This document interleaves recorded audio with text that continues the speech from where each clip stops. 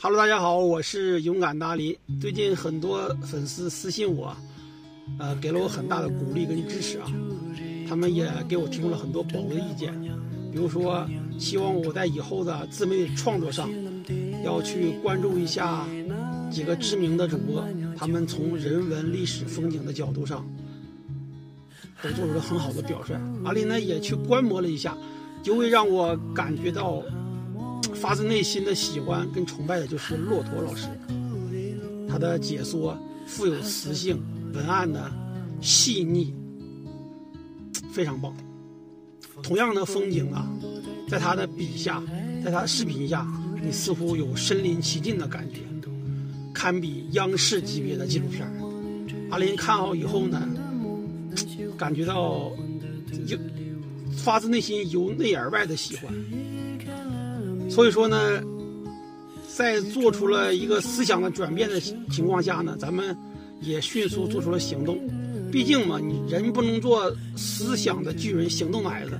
所以说，昨天咱们下午也在漠河周边，嗯，进行了一些创作拍摄，利用了无人机，利用了运动相机，包括单反也上了。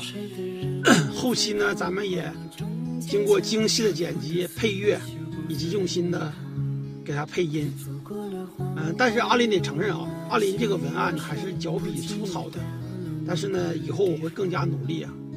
只不过这个文案呢，我没有用笔去写，只是现场即兴发挥，根据我对我家乡的这个了解，这样做了一个大概十来分钟的中视频。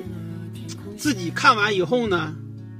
然后也相对比较满意啊，还经常去回味一下。来，咱们给你，咱们播上一小段。来，就是这个。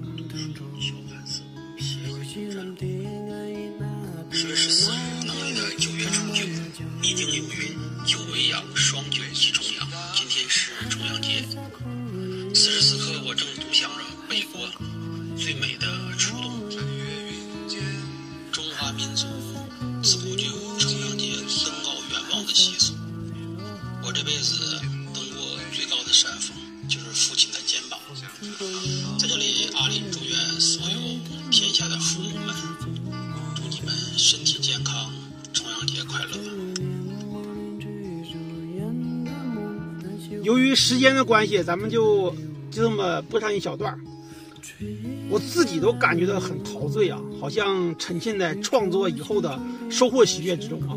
我不知道你们有没有看到这个视频，但是很惨呐，昨天发的，过了一个晚上了，加上一个白天，才有两千四百的播放量，但是留言还是不错，点赞三百个，有六个收藏。这让我感觉到很困惑。原来总是听大亮啊，他们说就是拍风景没人看，或者是说拍风景没有流量啊。我不知道用哪种方式表达更确更正确。如果是开风景没人看，是说明老铁们粉丝们不喜欢；但是拍风景没有流量，可未必是老铁们不喜欢看。在这里面，你们评论区留言，帮阿林出出主意。这个拍风景是没人看呢，还是说没有流量？是因为你们收不到推荐呢，还是说推荐以后觉得这种风景大家都在拍，有点审美疲劳呢？讲道理啊，这个呃常规的自媒体，你不可能老是找这个爆点，呃传递的也不一定是什么正能量，因为这世间大多时间是平平淡淡才是真。为什么有的路段人家拍了就有流量？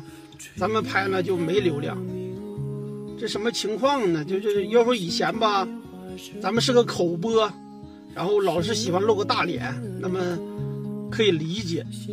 但是现在咱们用心去做了，但是反倒还不如露个大脸、露个大脑袋口播呢，就很困惑啊。暂且放开收益这个问题，就是从这个一分耕耘一分收获这种满足来看的话，拍风景。是非常难的，因为你可能一段延时压缩成几秒钟的后期，前面就可能要拍上个把个小时；一段航拍这么一两分钟的这个过程中，从装机、准备、构图、选景，那最少也要一个小时。如果是说再想拍一些高端的星空、星轨，或者是说拍出那种抽刀断水、水更流那种非常丝滑的慢门，就是这个除了要有一个较好的设备上的投资以外，更多时候是你呃对设备的运用以及对整个摄影那个意境的理解，这是要有功底的。因为玩摄影的人，这因为玩摄影的人都知道，三等摄影是烧设备，二等摄影是烧技术，一等摄影是烧意境。有的人看到了相机单反前面这个镜头，却忽略了单反后面那个人头。这个你就品品阿林说这话啊，脚比绕口，但是你一品就明白怎么回事情了。这怎么办呢？你说我们就困惑了。你说。拍风景又费钱，然后又费体力，也要精良的制作。反而呢，你不如这个拍拍吃吃喝喝，遇到什么人什么事，这样子以第一视角去更新作品，来得快呢，流量多呢。这是什么情况呢？难道是说，呃，不接地气，不能够雅俗共赏？你们评论区跟阿林。分析分析啊，你们是更喜欢看我这样的大脸在前面，这样口播聊天，还是喜欢看我深耕背后，多角度、多视觉的去拍一些人文跟风景呢？因为用不了多久的话，我估计我就要继续出发在路上。呃，不管赚不赚钱，不能轻言放弃。世界波已经在宁夏了，最近在出文案。在对一些线路进行考察，那我们还是想把这个该做的事情做下去。